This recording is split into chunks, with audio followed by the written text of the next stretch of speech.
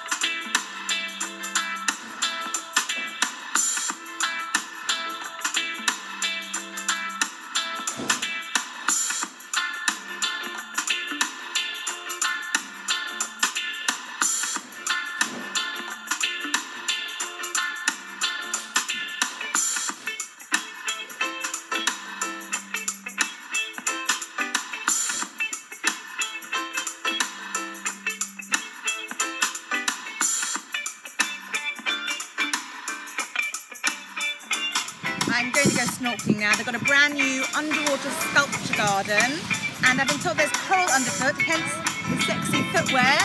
But better that than to get cut underfoot.